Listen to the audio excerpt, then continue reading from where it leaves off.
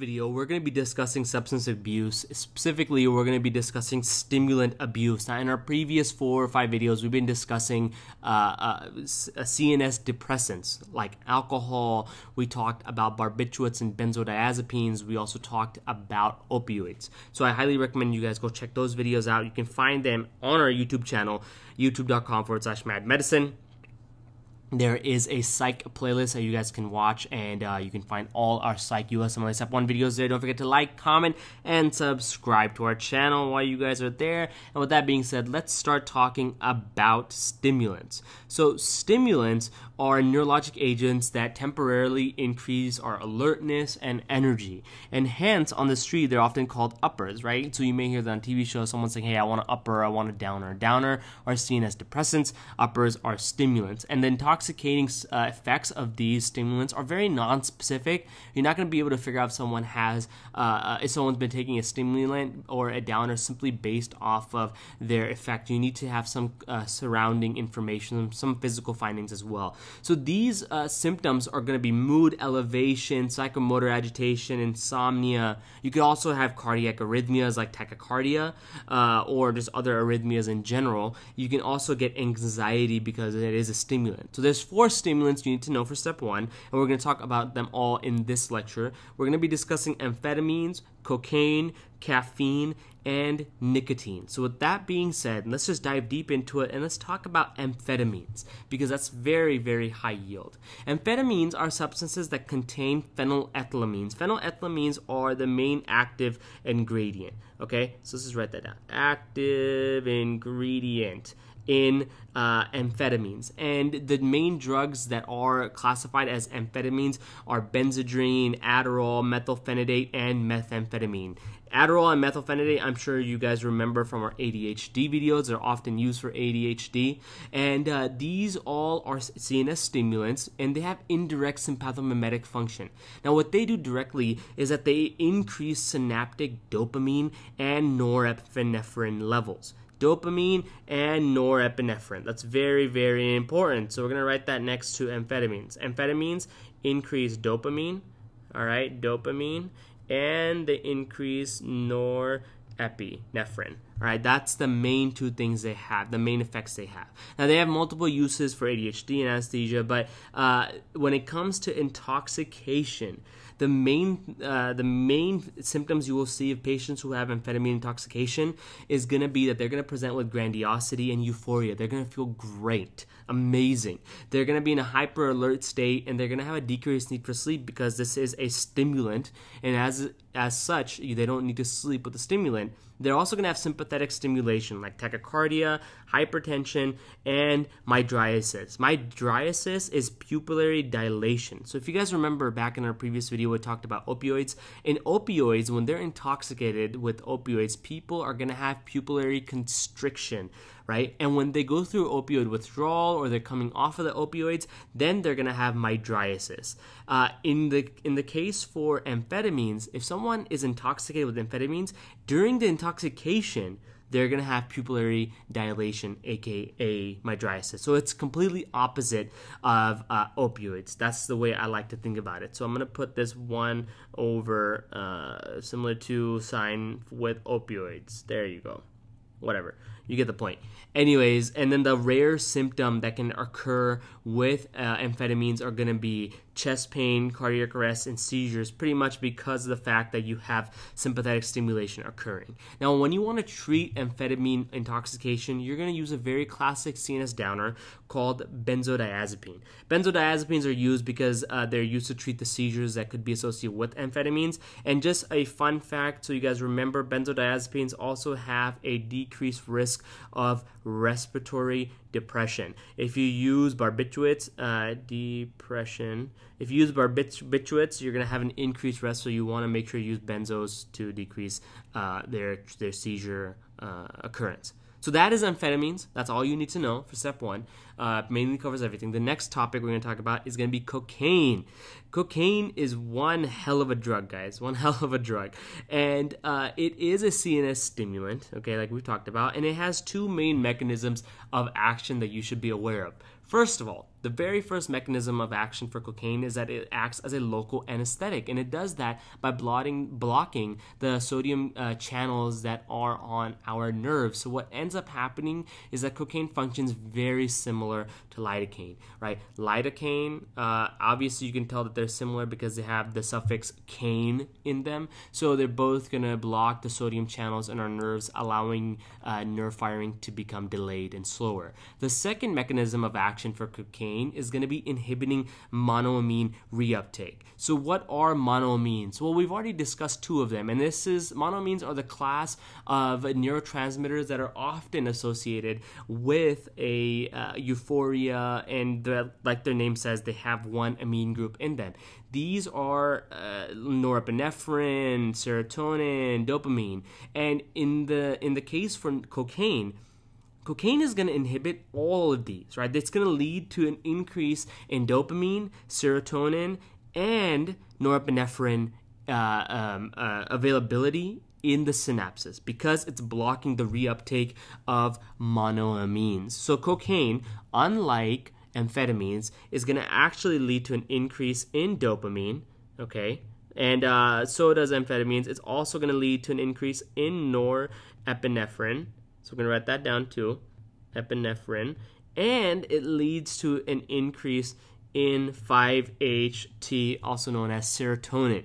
That is the key distinguishing factor with cocaine uh, and uh, uh, um, amphetamines because amphetamine will not lead to an increase in serotonin. So, what happens in cocaine intoxication? Well, cocaine intoxication is going to present very similar to amphetamine intoxication when, with grandiosity and euphoria. You're going to have a hyper alert or stimulated state, and uh, you're also going to see sympathetic stimulation like fever, tachycardia, hypertension, mydriasis, or pupillary dilation, as you can see here, very similar to a CNS stimulant. You, you are also going to have hallucinations, tactile hallucinations. And this is very important because this differentiates uh, cocaine from amphetamine. You're going to have tactile hallucinations, which may present with anxiety, paranoia, and they might mimic psychosis okay? You're also going to have something called a perforated nasal septum. So what is the nasal septum?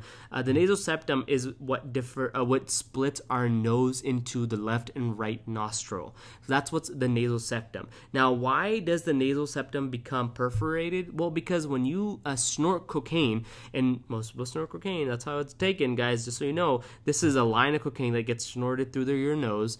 Uh, when you snort cocaine cocaine has a local anesthetic effect like we talked about right? But another, another thing it does especially in the nose is that it locally causes vasoconstriction. And the vasoconstriction of the local blood vessels leads to decreased blood being delivered to the tissue in the nose. And over time it's going to lead to necrosis because of lack of blood flowing there, and, and that necrosis is going to become a perforation in the nasal septum. So, a, cl- a clear way to distinguish a chronic cocaine user is to ask them to close one of their nostrils shut with their with their finger, and then take a deep breath in through their nose. And when they take a deep breath in, you're going to hear kind of a whistling sound, and that tells you that the the nasal septum is perforated. That happens with cocaine simply because of the physical uh, use of cocaine And then finally, the last thing you need to know about cocaine is cocaine chest pain.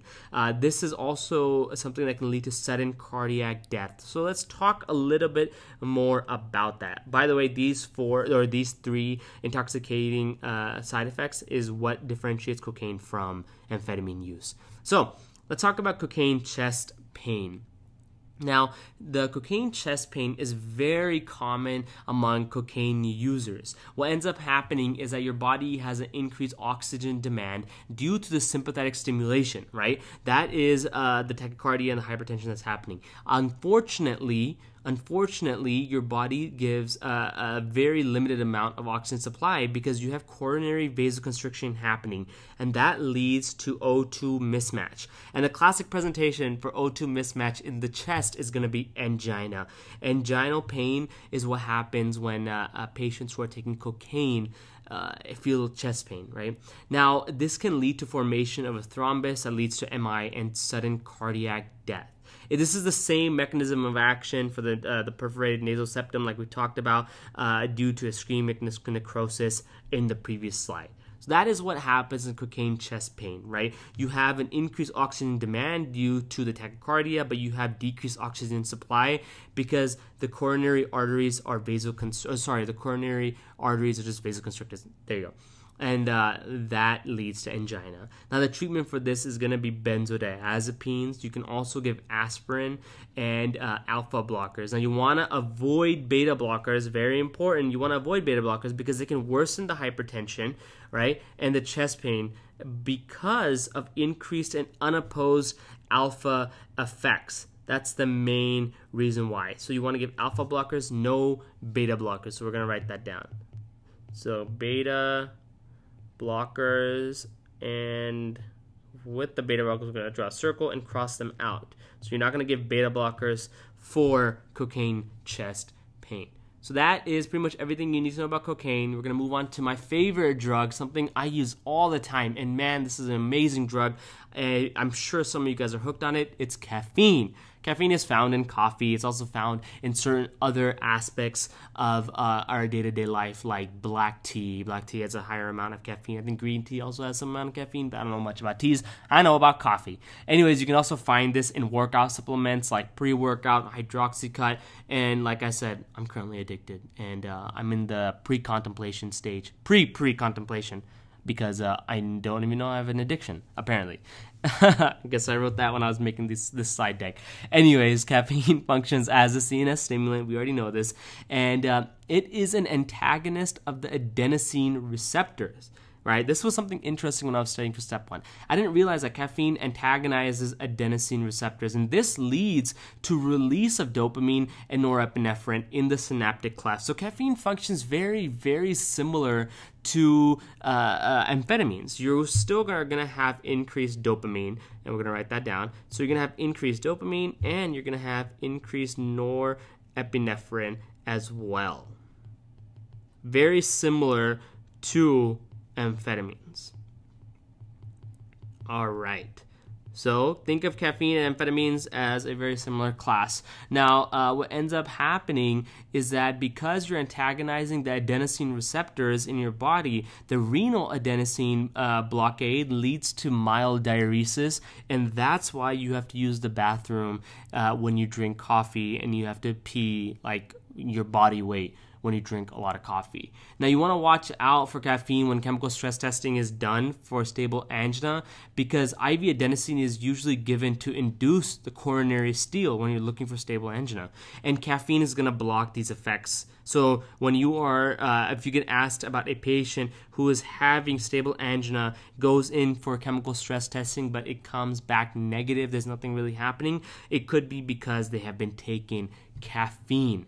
All right, so that's all you need to know about caffeine, mainly all you need to know uh, for this slide deck. The next topic is going to be nicotine. Nicotine is found in tobacco and it is a CNS stimulant, but the way it works is kind of different than the rest of uh, the stimulants we've been discussing. Nicotine acts on the nicotinic acetylcholine receptors. Now, these are found between the pre and post ganglionic neurons in the sympathetic nervous system and in the adrenal medulla. So, by the way, guys, everything I'm writing in red is very important for this slide. Now, when it comes to nicotine, because it's uh, uh, activating the nicotinic acetylcholine receptors, it's also going to activate the sympathetic nervous system, which is going to lead to fever, tachycardia, hypertension, and mydriasis, right? Pupil uh, dilation, very similar to all the rest of the stimulants that we, we have been discussing.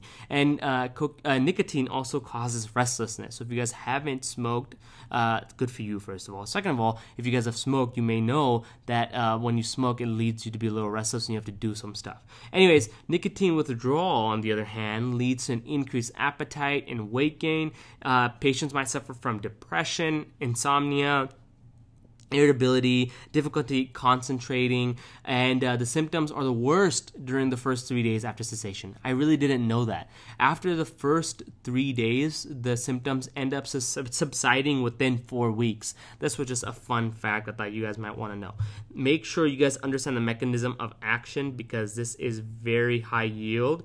Okay So we're gonna write that down. This is high yield as fuck. Now, when it comes to treatment, when it comes to treating nicotine addiction and nicotine abuse, you have a few options. The first option for treatment is going to be nicotine replacement therapy. And people often use patches, they use gum in order to supplement that nicotine and uh, uh, make sure that they don't smoke. Because the main hazard from smoking is not just addiction of nicotine, it's the fact that you're smoking in carcinogens. So for those people who want to quit smoking, we use slowly taper them off of uh, the addicting part, which is nicotine addiction, by giving them nicotine replacement, and that nicotine replacement usually uh, goes down in dosage as they progress through uh, the the program. Right, that's what ends up happening. Now, another drug that you can use, or an, a drug you can use for treating nicotine, is going to be bupropion. Bupropion is an antidepressant that blocks the reuptake of norepinephrine and dopamine. That's very important. It's also used for ADHD uh, and for depression in general. Uh, the one thing you just want to watch out for bupropion is for patients with low weight. Uh, it can lead to seizures because bupropion increases the seizure threshold uh, in patients who are anorexic. So that's definitely something you want to watch out for.